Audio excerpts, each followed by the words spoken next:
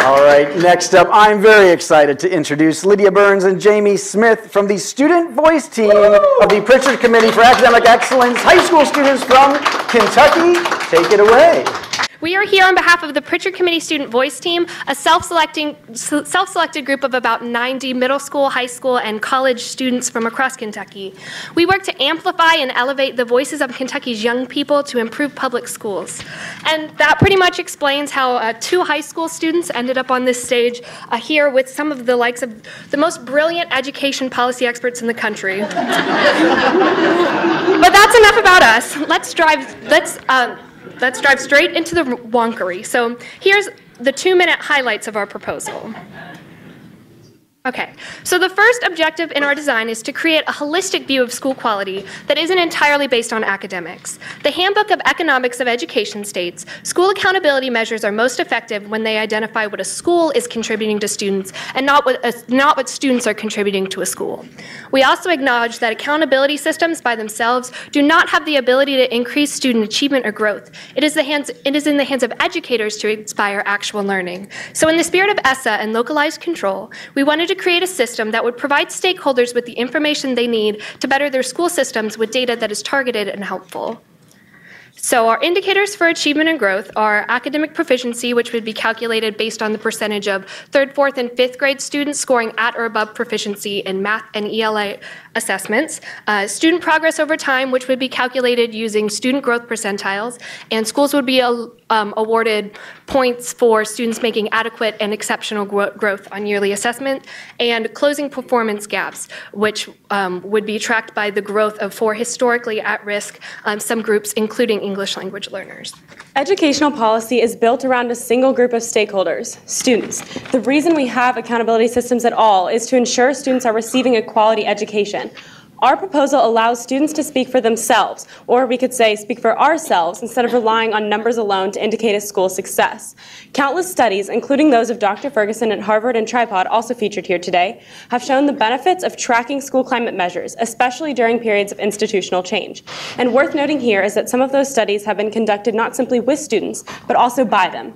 When the Student Voice team conducted a student voice audit of a Kentucky middle school, we were able to see firsthand how a large disconnect between administrators, teachers, and students can affect in schools' overall functionality. We know student voice and agency matter in assessing the health and effectiveness of our schools, and that is why we feel so strongly about including student voices in our accountability system. A school's overall score will be calculated by the sum of its points earned. Schools will receive a raw score for each of the aforementioned indicators, which will then be converted into points. The overall score of a school will indicate which of the four ratings it will earn. As students ourselves, we firmly believe that the best education policy is built with us and not around us. That is the heart of what we hope to convey by integrating student voice in our proposal. Thank you for reading it, and thanks for hearing us out. Great job, great job. All right, well done, well done. That was incredibly well done. Uh, okay, let's start with Charlene. Questions? Yeah, first of all, excellent, excellent presentation. Um, and I really appreciated your point about the focus of all of this being students and student improvement. Um, in fact, I think my question has to do with the after effects, uh, which really is, a, yes, school climate's important, um, particularly as you mentioned during transition. Um, my questions are two. One is, what happens at schools that don't have the performance gap you're talking about? How does that fit into the whole system?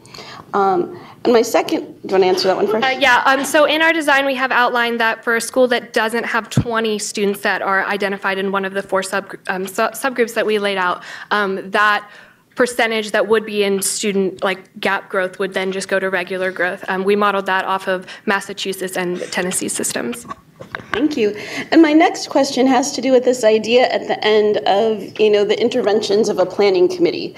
Um, I totally believe in student voice and teacher voice and community voice. I'm a little concerned about the idea, though, of this committee. Um, seems like too many cooks in the kitchen. What do you guys think about that? They're representing the Prichard Committee. I mean, this is, you know, it kind of goes in their blood here. I think this is the important. Yeah. Um, that's a really good point. Uh, it's not really something that occurred to us. We based it off of Florida's uh, eight-step system, and um, we think it's really important to to uh, have at least a somewhat of a representation of a large variety of stakeholders. You know, I noticed that you talked a lot about the importance of those climate indicators, yet they're only they only count for something like six percent of the score. So why why is that? Why do you have it weighted so low? We were really afraid that we would get the illegal scoring rating. Uh, personally, we think we think those are really important, but we wanted to be Turns out legal. that's not a problem up here. So We wanted to be legal. Uh, so that's uh, we looked at the law a lot and we found it really, really confusing. So I don't know if any of you guys wrote that, but like it's really hard to understand. I don't actually have my high school diploma yet, so like I needed a little help. Um, so uh, we David were really Cleary, that one's for you out there. Okay, yes, uh, all right. Just wanted to make sure that it was like feasible. That's right. That, that the law makes it clear that these other indicators are supposed to count, quote, much more uh, than the, uh, the That's your non-academic. pie in the sky. If you could put that percentage to be what you think it's worth, what would it be? I would need to do more research. I can't. Woo! Wow, people are going to love that on Twitter because uh, people, but uh, yes. Mike, can I ask just one question? In reading Index 4, School Climate, it's very heavily weighted towards students. Yet many of your parents are the reasons you're going to school where you go because they choose to live in the neighborhoods they live in before you ever went to school.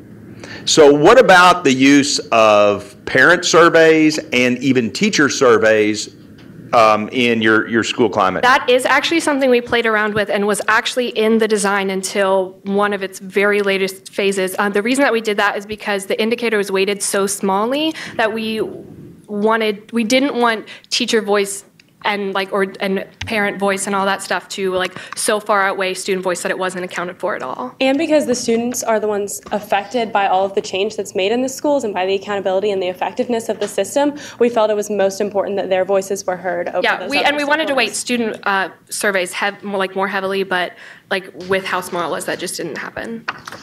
Big round of applause for the students from the Student Voice Team Prichard Committee for Academic Excellence. Awesome job, guys. Head on down. All right, we're going to vote. Now, don't go easy on them just because they're kids, okay? Come on. Whoever's been throwing that hate every time. No, just kidding. All right, get those phones out. Let's vote. By the way, this is such a great idea. I love the, the Prichard Committee is a state-based education reform and policy organization in Kentucky. Uh, such a great idea to have a student voice team. I think uh, reform groups, unions, uh, everybody involved in these uh, should do the same. Okay, what do we see here? Two percent of the people here are just churlish, uh, unforgiving souls. I think it would be illegal. Why would it be illegal? That's, that's, I don't get that. Okay, half like it, half love it. Very positive. Okay, let's start. Uh, Tony, let's start with you. So I, I have to tell you, I why your explanations put me over the top. I when I read these and went through it, I gave it a definite like it, and I kept thinking I could love this if there were some clear indicators. And I have to tell you, it was the easiest one of the whole lot to explain. Um, so, and and I would also tell you that I love it from the perspective that Dale Chu, you would have been unemployed had these two ladies applied for a job when we were in the Department of Education. And, and, and to that, I just want to say our movement needs young people, smart, passionate young people like you. So don't ever get out of this business. Your, your efforts are worth it. Thank you. Thank you. You're here. That really is feeling like American Idol. That, that, that, yeah. yeah, excellent. I am in the like it, um, but I agree, totally love the participation, civic involvement, interest. The reason I'm like it specifically is I am too much of an advocate of teacher and parent voice as well. Your explanation made a lot of sense to me, uh, but I think that's where the research can be done to figure out where those voices can get added in as well. Great. Joanne?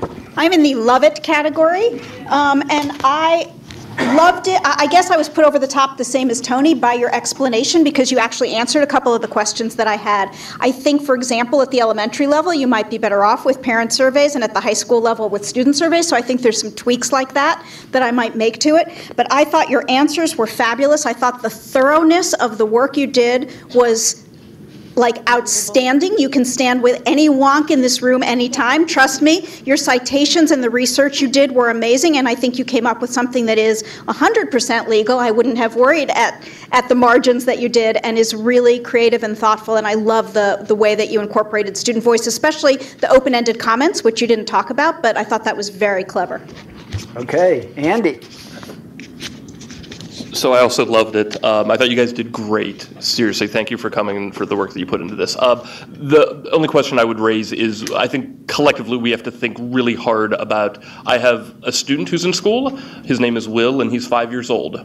And what that means, uh, his voice in his school system should be a whole lot different than your voice in your school system. And I just think we're probably a couple years away from thinking about what student voice looks like in elementary school, middle school, high school. We can get there. Um, but when I talk about how schools are a whole lot more than test scores, um, this has to be part of the, the algorithm we use. So All thanks. right. Great job, judges. Great job, students. Very exciting. Love it.